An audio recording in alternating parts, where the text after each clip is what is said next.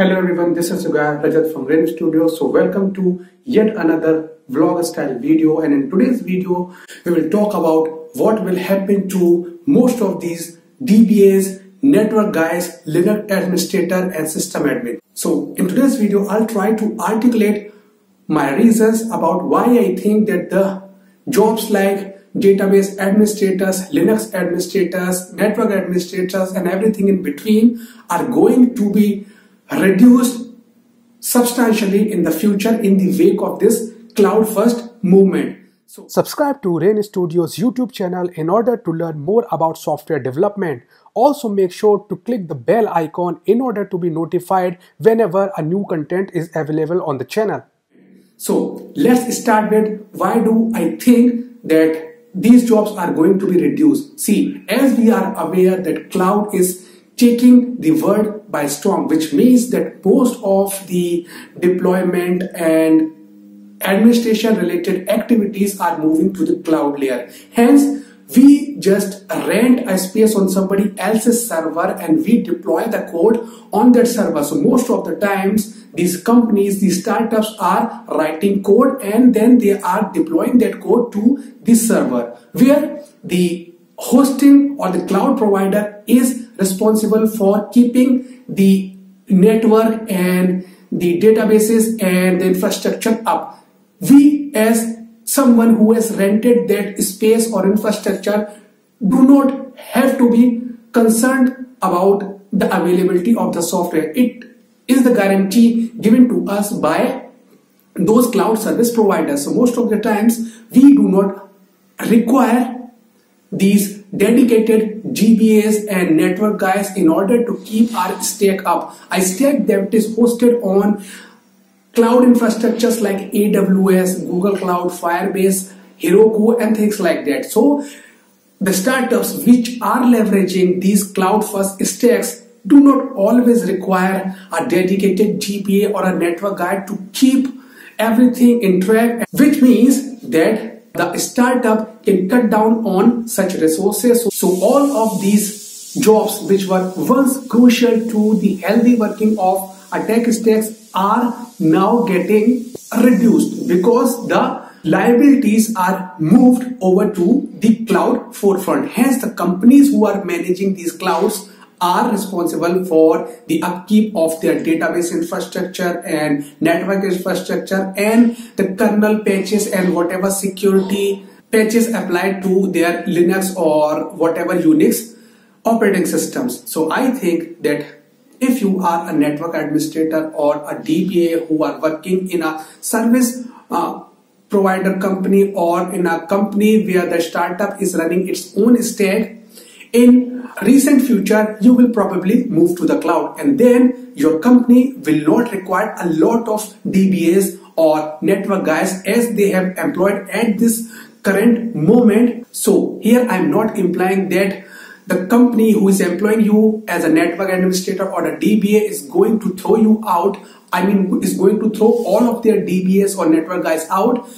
I am saying that 90% or more than 95% of those jobs will be cut down. Because if the company was doing with 10 DBAs today, in case it moved to the cloud, it would get away with only employing one DBA because now the complexity has moved to someone else's code and that code in this case is the cloud service provider and the cloud service provider most probably will be employing quite a lot of DBAs at their own end in order to keep their database infrastructure or the network admin guys to keep the network up all the time so that the person or the companies who have rented space from them can get 99.99% or more than that uptime. So in case you are eyeing a responsibility or a job as a network admin or a Linux administrator or a DBA or something like that, I think that you should prepare for companies like Amazon, Google Cloud and Firebase, Heroku and all. Because these will be the company which will end up employing quite a lot of network guys, DBAs and system administrators and things like that. Because they will be responsible for managing most of such stacks most of the startups are just going to employ the DevOps guy and the developers who will be responsible for coding the functionalities of the tech solutions and deploying them on a cloud infrastructures purchased from services like AWS or Google Cloud or any other cloud service provider out there. Which means that the competition is going to be cutthroat because these companies have a higher bar as compared to service provider companies like TCS, Wipro or any other third party service provider company which hire these network administrators and DBA guys in hordes just as to ensure that collectively they will make the tech stack work. So the amount of knowledge you have to have in order to get employed in companies like AWS and Google Cloud and things like that is going to be quite higher than the amount of knowledge you will require in order to get placed in a service provider company. Hence, I would request you in case you are targeting such roles, make sure you prepare your best and you only prepare for companies like AWS, Google Cloud and Heroku and DigitalOcean and things like that because these will be the companies which will end up eating quite a lot of infrastructure hosting in the near future once the cloud takes over 100% of the stack. Of course, there are going to be companies which will host their own stack and those company will employ their own dedicated system administrators, Linux administrators and database administrators but the number by which they are going to employ such professionals is going to be substantially less in number. So now you cannot rely on the fact that you are always going to get a job as a Linux administrator or a support administrator or a database administrator in some third party service provider company or uh, in some company easily it is going to be a lot harder once the cloud takes over because the number of such jobs are going to be reduced due to the movement of the complexity or the responsibility of managing these networks and database stacks to the cloud. So it is like delegating the task. So you have to move to the companies which are actually managing the stack itself, which means that now you have to prepare for companies which are going to take up quite a lot of professionals related to Linux administration and database administration and things like that because it is their primary job which means that now you have to target cloud service providers. So this is my whole unpopular opinion about what is going to happen to jobs like database administrators and linux administrators and things like that because the cloud is taking over. More and more startups are realizing the advantages of employing a cloud where they do not really have to hire a dedicated Linux admin guy or a database administrator in order to fine tune their application so that they can perform moderately without much efforts from the development side. Right? So all these administrators sitting at those cloud services company make sure that the instances are always fine tuned. The security patches are always applied which means that now you do not really have to employ a linux administrator to take care of the security of your linux kernel or your linux server because cloud service providers are ensuring that on their own end. So now you can just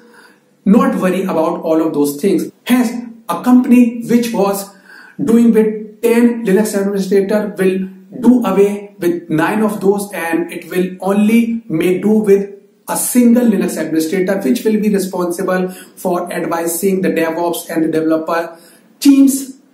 about how to uh, migrate their code to the AWS or the Google Cloud and what kind of droplets or servers they should create, what kind of resources uh, they should plan for, what kind of cost they are going to incur. So these will be more on the side of architectural things. So the Linux guys or the DBA guys who are going to save their jobs and stay in most traditional organizations are going to be the guys who have a knack for architectural things, who know how to take decisions what sort of infrastructure would be sufficient for the tech solutions of a company and things like that so in case you want to uh, you know prepare yourself for a sustained career in your third party provider companies. Make sure you prepare yourself for all such roles which are more oriented on the architectural side. All the mechanical sides like applying patches and uh, opening the network ports and things like that are going to be moved to the cloud layer and those cloud service provider will take care of all of that so in case you are interested in managing and applying those patches or opening the ports and uh, working with uh, net mask and, and things like that make sure you prepare yourself for getting employed by companies like AWS or any cloud oriented company out there. So this was my unpopular opinion about what is going to happen to all such DBA and Linux administrator roles. And I know that there will be people who would not relate to whatever I have said in this video, but I hang out quite a lot of network administrator guys and I have worked myself as an Oracle DBA in the past. Hence I know like the tech scene of these job profiles is changing ferociously. Now most of the companies are asking their tech solutions to be moved to AWS and things like that so that they can do away with some of the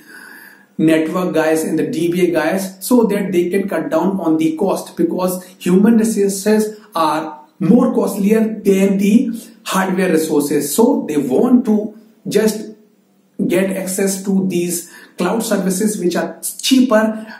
to first of all host, to deploy to and to maintain which means then they can cut down on these human resources which means more profit for the companies. I know there would be people who would not agree with whatever I have mentioned in this video and in case you are one such person make sure you chime in with your opinion so that the community can benefit from your opinion as well because simply this was my opinion and I could be wrong. But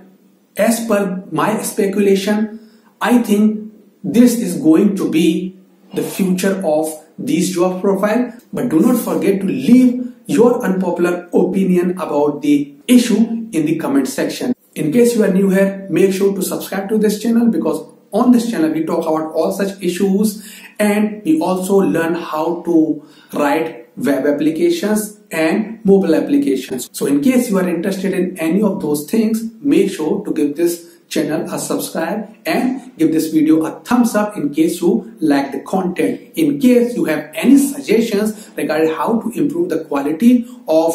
content on this channel, make sure to leave a comment on this video or any video you watch on this channel. So this is Rajat Saxena signing off. Take care. Bye-bye.